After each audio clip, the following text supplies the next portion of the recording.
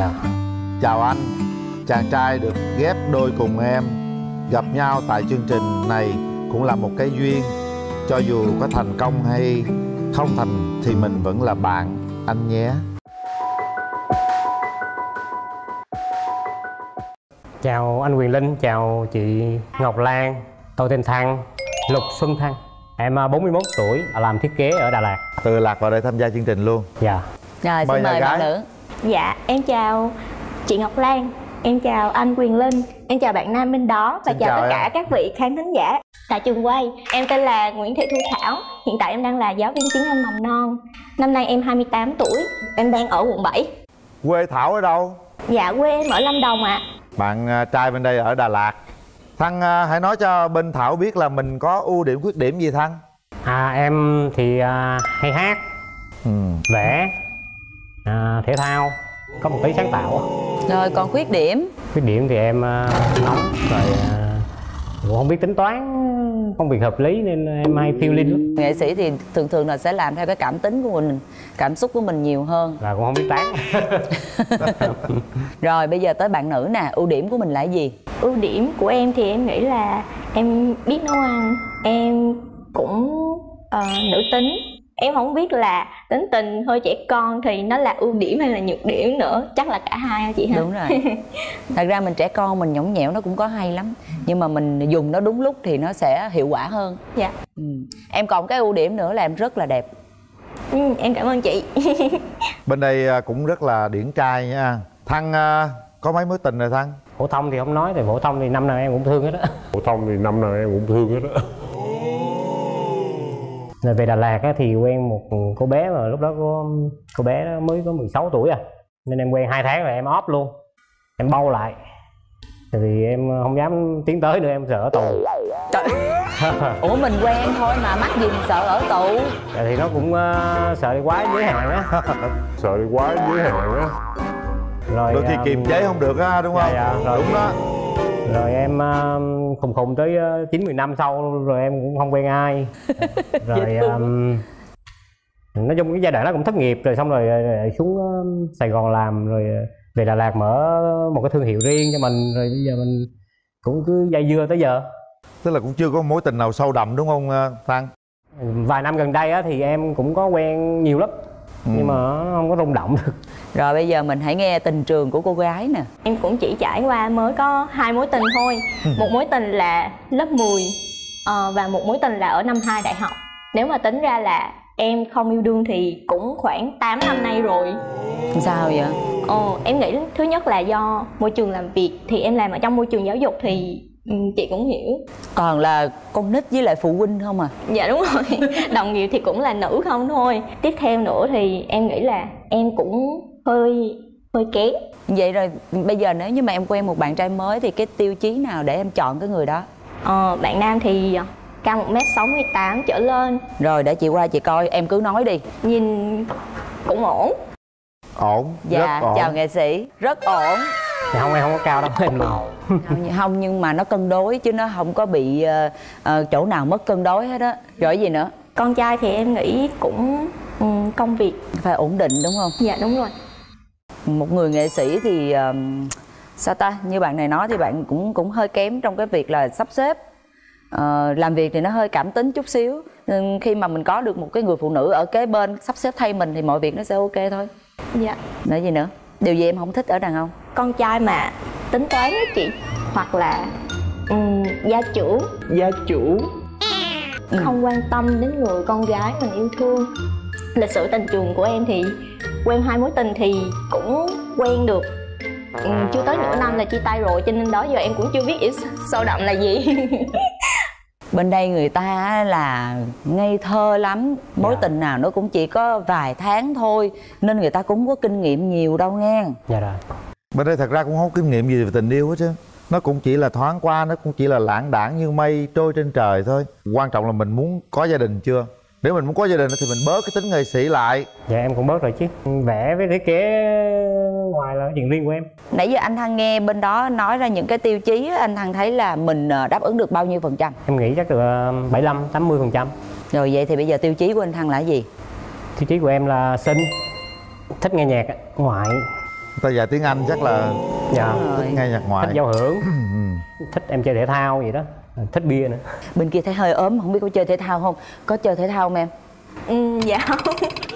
Về về ảnh tập cho chơi. Biết uống bia không?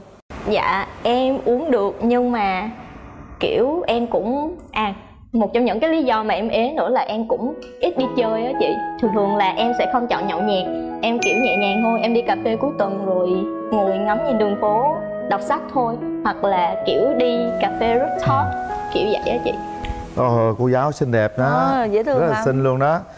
Em à, nhỏ ở bên kia là hơn con giáp luôn đó. Thảo à, thấy có cái gì à, trở ngại. trở ngại? Tại vì đó giờ em ít quen cho nên là em cũng chưa mường tượng ra được. Không biết là có khác biệt quá về tuổi tác thì khác À, biệt không. thế hệ không? Anh kia thật ra là nhìn ảnh rất là trẻ không đến mức ờ, ờ, không ai biết là lớn hơn em 13 tuổi đâu. Tính nghệ hơi nghệ sĩ đến giờ em biết rồi đó. Rồi kết hôn thì em sẽ về Đà Lạt sống. Nếu mà ờ, em phải di chuyển theo bạn nam thì bạn nam phải ổn định. Tại vì em phải bỏ hết sự nghiệp ở đây rồi. Em đi lên trên đó thì cũng sẽ hơi bấp bênh. Dạ. Đúng rồi cái đó hợp đúng lý thôi bạn này nói chuyện Đúng, hợp đúng. lý nè. Rất hợp lý. Đó Ờ, tôi hỏi bên đó bên đây để bên kia nghe nghe rõ ha. Nghe nghe rõ em gái đi với ai cưng? Dạ em đi với em gái ruột của em. Dạ, con chào chú em chào chị Ngọc Lan ạ. cái anh này ờ, thấy được không? Có hợp với chị mình không? Dạ, ngoại hình được ạ. Em thấy anh cũng khá là hiền, nói chuyện thì cũng theo hướng nghệ sĩ. rồi. À cảm ơn em. Cảm ơn em. Mình mở rào cho hai bên gặp mặt nói chuyện đi ha. Nãy giờ mình chỉ nói qua cái hàng rào này mình cảm nhận về nhau thôi.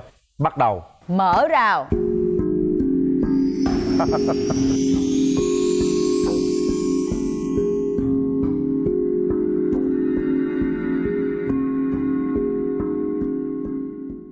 chào em. Bắt đầu đi thăng. Dạ. Anh tặng em. À, dạ em cảm ơn anh. Dạ. Cái này anh làm à, tặng em ăn cho vui. Dạ. đi qua anh lại vậy? À, dạ em cũng có món quà để tặng anh ạ. Rồi cảm ơn em. Dạ vâng. Dạ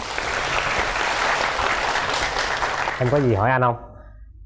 Em có muốn về Đà Lạt với anh không? Em có muốn về Đà Lạt với anh không? Ờ, đi về Đà Lạt gì đó thì kiểu ờ, em chưa có suy nghĩ tới. Tại vì thật sự thì con gái thì em nghĩ ừm, cái quyết định mình đi đâu hay ở lại đâu thì cũng tùy thuộc vào cái đối tượng trong tương lai của mình nữa. Không thể hỏi được như vậy ta không thể trả lời được. Còn mình hỏi ngay bây giờ ta cũng không biết có về hay không bây giờ em cảm nhận đi. Em cảm nhận à, thảo thế nào? Em thấy người con gái này sao nè? Thảo hiền và dịu dàng và xinh đẹp. Là anh nghĩ em cũng thích tiếng Anh nữa. Anh cũng hay hát tiếng Anh lắm. Anh sẽ tặng em vào trường quay. À, một bài em um, em mới nghĩ à, từ sáng nay. MCV in the morning up from Ho Chi Minh. Everything that I got is just what I got on. When the sun is high Dallas sky. I'll be Bucky that county fell Baby, look the door and turn the light down low and put some music on that soft and slow. Baby, we ain't got no place to go. I hope you understand. I'll be thinking about this all day long. Never felt a feeling quite this strong. I can't believe how much it turned me on just to be your man. Rồi. rồi. Bây giờ mình nói tới vấn đề hẹn hò đi. Bây giờ anh ở Đà Lạt còn bạn này thì ở Sài Gòn. Thế thì anh tính lịch trình hẹn hò như thế nào? Anh thì um, đi làm uh, giờ hành chính. Buổi tối thì anh rảnh rồi anh rảnh quá nên anh đi uống bia. Rồi à, sáng thì anh dậy đá banh. Anh em nói là anh tính lịch trình hẹn hò á. À, thì đó, đó là giai đoạn của em giai đoạn à, em còn độc thân còn bây giờ nếu mà em có bạn gái thì ừm, tối anh sẽ chở em đi chơi em đi à, nghe nhạc à, đi uh, Bixi đi chơi bằng đường nào? Đi à, vòng vòng Đà Lạt. Người Đi, ta ờ, ở Sài. Gòn. Em xin lỗi. Sài Gòn thì có thì. Không đi xuống chơi thôi mà. Em không biết chơi gì ở đây hết. Nhưng người yêu mình đang ở sài gòn thì sao? Dạ vậy mới nói qua nhà tôi chơi tôi chơi, chơi, chơi, chơi mười- nhà tôi trăm mười ba lăm mười lăm mét vuông rộng đó dạ thôi. Ờ, nếu mà hai người quen nhau thì ok thì tại vì em làm giáo viên thì đôi khi em cũng được nghỉ hè hoặc là Ừ. nghỉ đông thì em cũng về nhà. Thì về nhà thì chắc là gần anh rồi ha anh hả? Nói thì dễ quá. Hết hồn. Em thích anh em yêu à, nói em yêu anh hay là em yêu Đà Lạt á thì em muốn ở với anh á thì anh lúc nào cũng sẵn sàng à, cưới hết á. À, dự định thì um, anh sẽ mở à, làm một cái đám cưới nhỏ ở thủy tạ thôi. Đám cưới nhỏ nhỏ thôi hả? Sao không làm đám cưới lớn lớn? Để không thích mời nhiều. Để không thích mời nhiều. Dự định bao lâu mình có con? Khi nào em thấy cảm thấy khỏe khoắn á, rồi em muốn sinh thì em sinh thôi. Ừ câu này hay nha. Anh thấy bạn gái nãy giờ ngồi cũng thật sự là cũng không biết chia sẻ thế nào về câu chuyện ngày hôm nay. Mình yêu một ai đó mình nên quyết liệt chút xíu đúng không thăng tim em nó cũng đã trai nhiều quá rồi. Ừ có Mà- thể là do anh thăng lâu quá rồi anh không có một cái tình cảm. Đúng. Nếu bây giờ em hợp với cô gái này hai người yêu nhau về Đà Lạt sống cô này sẽ làm gì? Thì chắc cũng phải đi dạy. Ừ. rồi em có lo được cái chỗ dạy cho cô này không? Em nghĩ là cái trong mối quan hệ của em thì em cũng có thể nhờ vả được. Bây giờ thí dụ như chưa có đi dạy được thì em có thể đủ ờ, lo cho vợ cho con ở Đà Lạt được không nói chung cũng không có dư dả nhiều lắm nhưng ờ, cũng ờ, đáp ứng được những cái nhu cầu tối thiểu và, và cũng ờ, không đến nỗi thiếu thốn. À em có thể tiến tới nắm tay nói chuyện với Thảo chút xíu. Thảo đứng lên nào. Em nắm tay Thảo đi. Anh có thể không? Có thể nắm tay đi nào. Rồi. Hai hai người đứng xếp, xếp kế kế với nhau. Rồi. Em không biết nói gì. Ờ, em xin và em nhìn thẳng Thảo mà nói đi. Em xin lắm. Anh ờ, anh cũng không biết thuyết phục hay là tại vì nãy giờ anh cũng nói rồi. Nói là như em không biết em hiểu hết những gì anh nói chưa? Nhìn đâu trời. Dạ. Um, rồi cho anh cầm một tay. Um, đó là những lời anh muốn nói là anh muốn tại vì chắc em hiểu anh là anh muốn ờ, đưa em về Đà Lạt ở với anh và cùng làm việc ở trên đó. Sài Gòn thì anh chịu thua rồi. Em thông cảm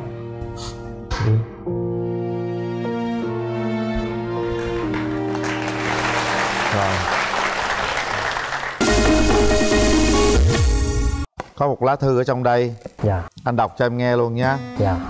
Chào anh chàng trai được ghép đôi cùng em. Gặp nhau tại chương trình này cũng là một cái duyên. Cho dù có thành công hay không thành thì mình vẫn là bạn anh nhé. Dạ. Đó là lời chia sẻ của thảo ở món quà tặng em. Hai bạn sẽ quyết định sau 3 tiếng đếm của ngọc lan. Một. Hai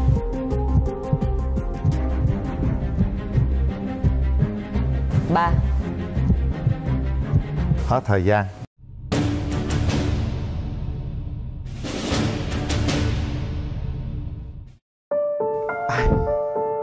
Dạ. Thảo không bấm. Em xin lỗi anh vì em không bấm. Tại vì thật ra là hai người cũng đã rất là lâu rồi không ở trong một mối quan hệ. Nhưng mà anh lại ừm, chứng tỏ cho em thấy là giống trang như là anh anh không có muốn theo đuổi em lắm. Không sao. Ừ, nếu anh là thảo anh cũng không bấm. Đúng rồi. Nếu tôi là thảo tôi cũng không bấm. Đẹp như thế này mà nhìn cũng không nhìn ngại hả? Dạ không. Em cũng không rung động lắm. Sorry. Với cái này á thì em hay tâm sự với mấy chị trong công ty á hay khuyên em là giữ tiền. Nhưng mà nếu mà cái tính của em thì ai tự giữ tiền cho khỏe? Tại vì em nhức đầu á em thiệt sự là em nghĩ như vậy nhưng mà mấy chị trong công ty với mẹ em hay kêu là em giữ tiền nhưng mà em thấy nhức đầu.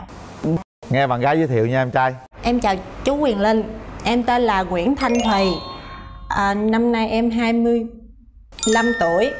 Em làm ờ, trợ lý theo dõi đơn hàng của một công ty may mặc. Em đang sinh sống và làm việc ở Bến Tre. Rồi chào thùy. Mời nhà trai giới thiệu cho nhà gái nghe nào. Dạ, em chào anh Quyền Linh, em chào chị ờ, Ngọc Lan và rằng các bạn ờ, đang xem trường quay và toàn thể ờ, quý chị đang xem chương trình truyền hình. Em tên là Nguyễn Minh Sang, em 27 tuổi, em đến từ ờ, Long An. Em đang làm tại công ty thép Vinawan ở Bến Lức, Long An. à vậy thì cũng gần rồi ha bến lức thẳng tới bến tre không bến xa lức mấy Dạ, bến dạ. tre rồi điểm mạnh điểm yếu của em là gì à, sang dạ điểm mạnh của em là không hút thuốc Ừ. ít uống rượu bia và biết nấu ăn Giỏi. biết quan tâm chăm sóc gia đình và có thể chia sẻ làm việc nhà hay quá điểm yếu? Dạ điểm yếu của em là viết chữ xấu. Viết chữ xấu? Bây giờ đánh máy không ạ? Có rất nhiều người viết chữ xấu không lo. Mời nhà gái. Điểm mạnh của em á em kể cái thứ nhất là em siêng. Em thấy là em ờ, siêng học siêng làm việc với lại là em cũng siêng chơi. Với lại là em cũng siêng chơi. Với lại em cũng muốn là bạn nam của mình á là cũng siêng chơi. Chơi gì? Dạ ý là ví dụ đi chơi hoặc là đi về thăm nhà hoặc là đi đây đi kia chơi á.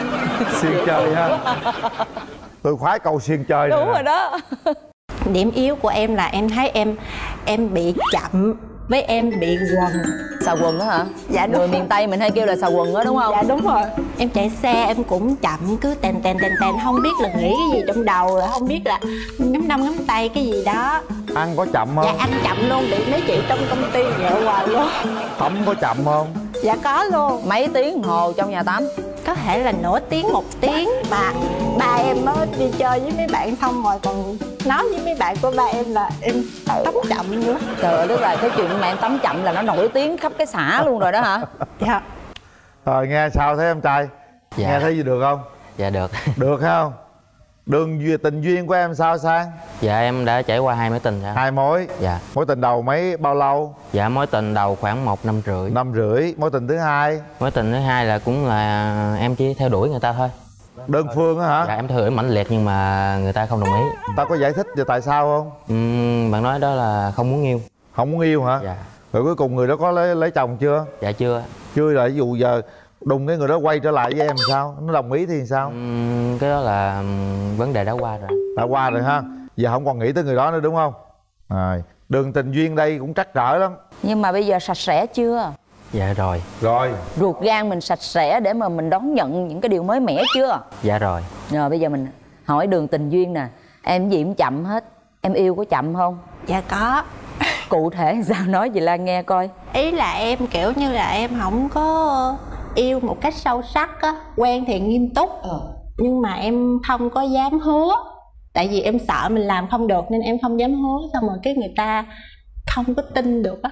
Bao nhiêu mối tình rồi? Nếu mà chính thức quen thì em chỉ quen mới có một mối tình thôi. Mình quen bao nhiêu lâu mình chia tay? Dạ hồi lúc đó là em tự nhủ là em phải cố gắng quen khoảng hơn một tháng nhưng mà mới có ba tuần thì cái hai người chia tay. Trời ơi vậy là yêu nhanh đó không có yêu chậm đâu. Vậy là yêu nhanh đó không có yêu chậm đâu. Bây giờ mình nói luôn đi rồi. Cái tiêu chí chọn cái người bạn sắp tới của mình là gì? Em thích cao mập. Ừ, em kể chi tiết qua được không ta? Được. Nhiều tóc mày rậm môi son thơm. Chị tưởng em tả hàm hương rồi không á cho tôi một cái son tôi đánh vô coi. À, về tính tình á thì em hy vọng là bạn đó sẽ đừng có nhây quá mà cũng đừng có đầm quá.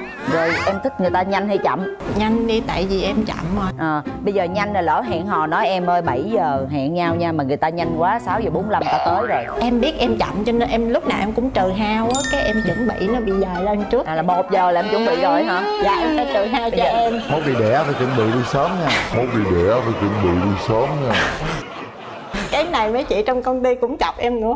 Cái gì cũng chậm vậy luôn á hả? Dạ. Nhưng mà em cố gắng nhanh á thì Nhưng em sẽ ý- bị rối. bạn này ý Bị thức rối. được việc đó. Dạ. À.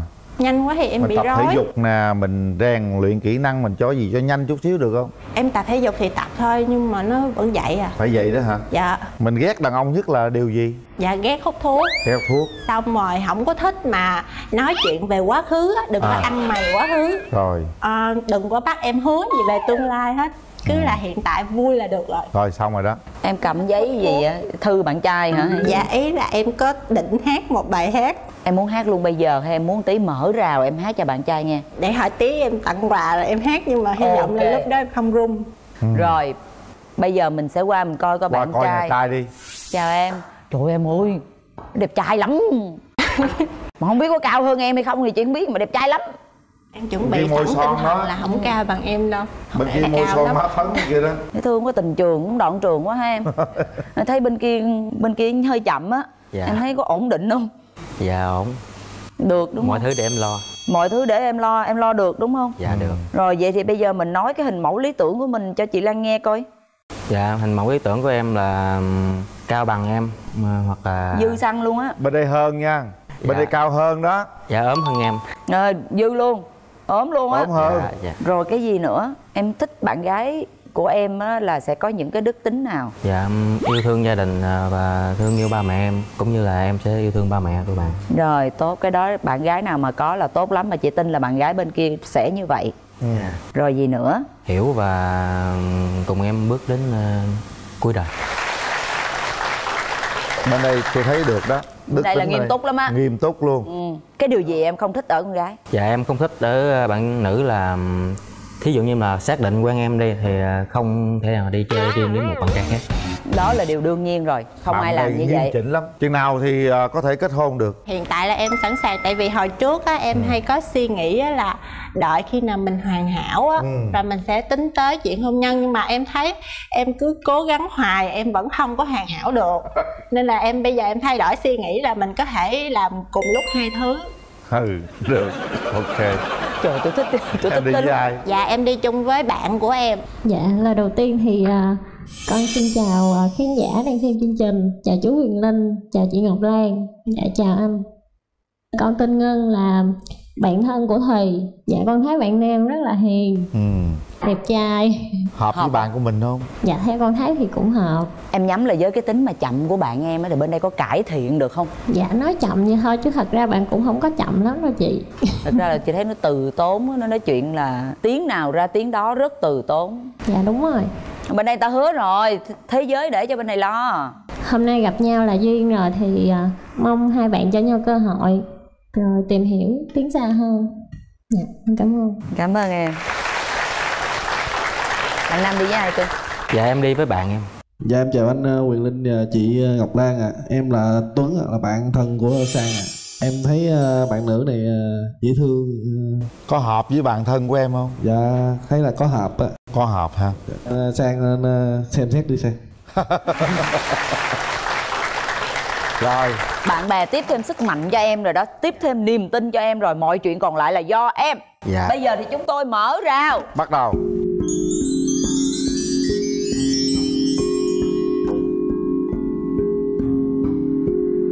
bắt đầu đi em. Mình có một cái gà tặng bạn. Dạ em cảm ơn. Cho anh xin phép đẹp đi.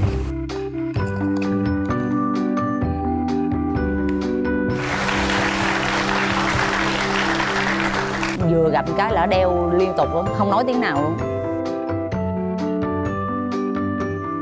Em cũng có món quà tặng anh. Mình mở ra. mở ra coi thử. Cẩn thận à, cái này là một món quà mà em tự làm. À, nó không có ý nghĩa gì hết mà tại vì em em làm em thấy nó đẹp với nó dễ thương thì em tặng anh thôi ạ. Ủa đó là gì vậy? Đây thì tôi hổ dạ là một cái hộp ờ, rượu. Rượu hả? rượu trái cây. Làm tự ngâm luôn hả? Dạ. Uống được không? Dạ được. Dạ em ngâm nó cũng chưa lâu lắm nên nó chưa có lên chưa màu. xỉn chưa xỉn rồi về chỗ đi các bạn. Nãy giờ nói chuyện qua hàng rào thôi. Giờ mặt thấy sao nè? Dạ em thấy bạn nữ cũng dễ thương. Dạ à, cũng hiền lành vui tính cao không? Thấy cao không em? Dạ em cũng cao nhưng mà còn chấp nhận được. Dạ tại vì em thấy là có nhiều bạn á kiểu ừm, hơi không cao bằng em thì cũng là thiếu tự tin nhưng mà em thấy là anh đứng với em thì anh cũng vẫn là bình thường.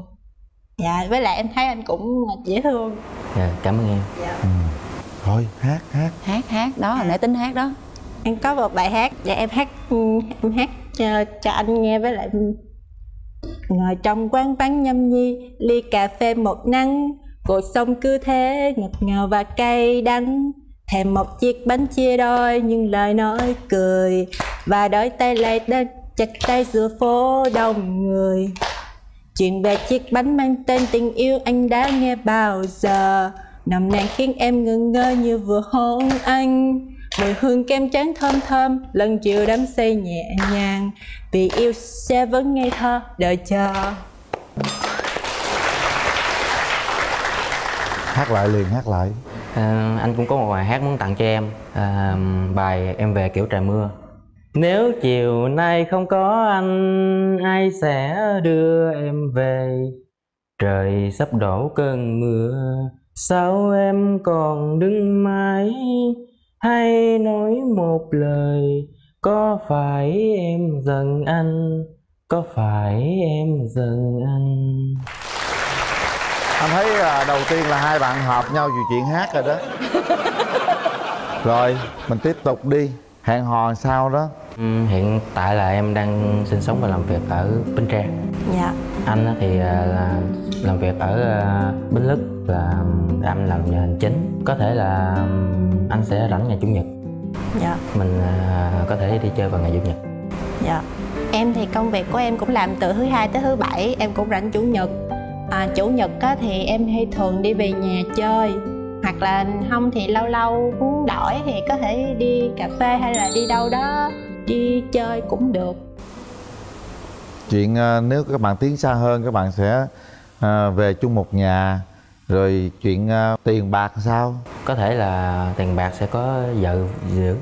Cái này á thì em hay tâm sự với mấy chị trong công ty á, hay khuyên em là giữ tiền. Nhưng mà nếu mà cái tính của em thì ai tự giữ tiền cho khỏe tại vì em nhức đầu á. Em thiệt sự là em nghĩ như vậy nhưng mà mấy chị trong công ty với mẹ em hay kêu là em giữ tiền nhưng mà em thấy nhức đầu.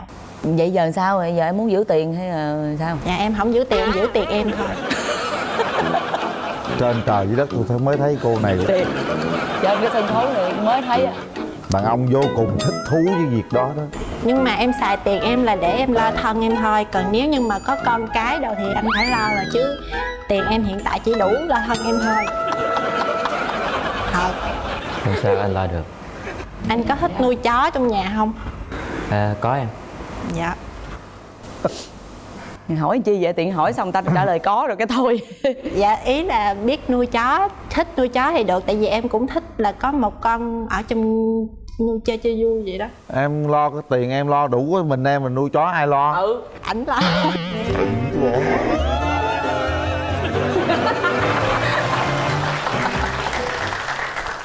rồi bây giờ hai bạn. Bạn trai hãy tiến tới nắm tay cô gái để xem trái tim mình có rung động không.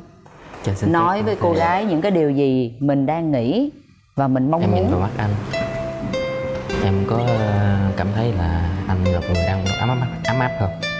Em thấy anh cũng dễ thương. Em cảm thấy là thân thiện dễ gần là được. Tại vì em ờ, kiểu như là em cũng muốn có mối quan hệ là kiểu như là bạn đời á thì mình có thể nói chuyện với nhau được. Hứa hẹn à, sau bài thì anh không không thể mà hứa được tại vì là tương lai không biết trước. Nhưng mà nếu mà chúng ta hợp thì anh sẽ hứa yêu thương em suốt đời. Hay Dạ. quá rồi. Hai bạn về chỗ. các bạn. Quyết định là do các bạn. Bấm hay không? Sau 3 tiếng đếm? Một hai ba. Xong. Bạn gái rất là quyết liệt. Bấm là không có chậm nha. Chính thức chúng ta đã hẹn hò với nhau. Nắm tay nhau. Mừng quá hả? Dưới mừng quá hả? Hùng gái vô má làm kỷ niệm coi nào. Không coi vừa không? Vừa. Vừa khớp rất là hợp lý luôn. Không không đó thấy có ờ, cảm giác nhiều không? Dạ có. Có đúng không? Em gái thấy nụ hôn nãy làm sao? Hả? Ờ, dạ cũng kiểu dễ thương á. Dễ thương hả? Hôn cái nữa được không? Dạ hơi ngại